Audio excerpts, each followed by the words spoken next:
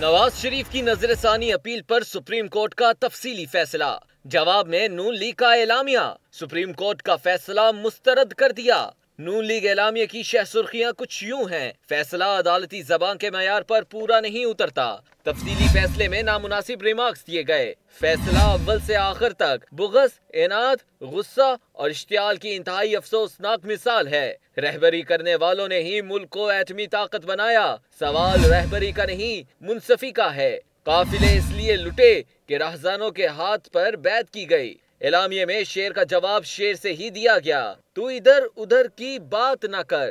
یہ بتا کہ قافلہ کیوں لٹا مجھے رہزنوں سے گلا نہیں۔ تیری منصفی کا سوال ہے۔